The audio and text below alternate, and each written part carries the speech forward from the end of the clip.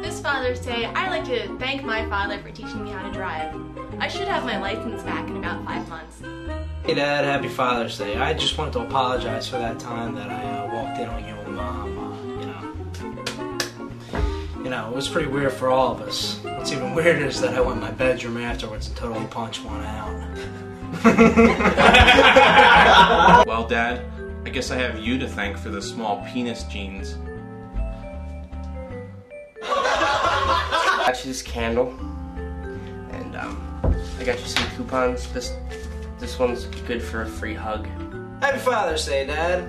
Showing my appreciation, I'm gonna let you show me your cum face.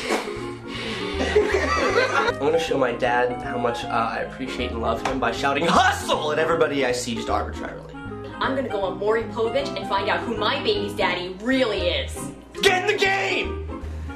Yeah, all those times we were playing catch outside, that was just kind of an excuse I used to let all my friends go in and gangbang Aunt Tracy. I'm sorry. Father's Day, I'm gonna celebrate James Brown, the father of soul, because let's face it, I'm much less afraid of black people when they're dancing to a funky beat. Suck it up! By the way, your hand jobs are pretty weak. Get your head out of your ass! And while we're at it, we could celebrate Bill Dixon, the father of women's boxing, because, well, when women are beating the shit out of each other, it's a hell of a lot less work for this guy. I'm gonna fuck you so bad. This year for Father's Day, I'm not going to resist the advances of Father McGinley. Well, no son of mine cries after he gets hit by a pitch, and, and, and why not bacon and eggs? Why apple cinnamon oatmeal? And, and, and real men wear eyeliner Dad, I wanted to tell you the only thing I learned how to do in college was be a good wigger. So now we can open that wig store we always wanted to open. I thought it was a big cop out that on a take your daughter to work day, you just locked me in my room with no clothes on and a webcam.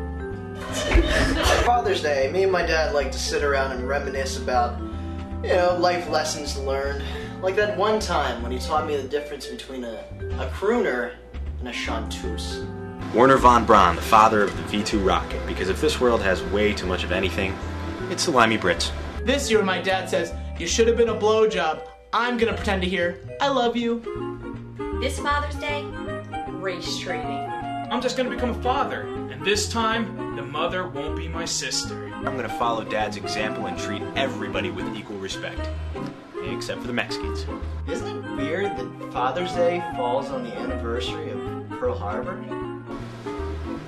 And I forgot to mention the Chinese. Remember that time that you found that pot in my sock drawer? And I told you it wasn't pot? And the Swiss, the Germans. Well, it wasn't. It was Grandmom's ashes. And they really fucked me up. Pretty much anybody from South America. And people from Kentucky.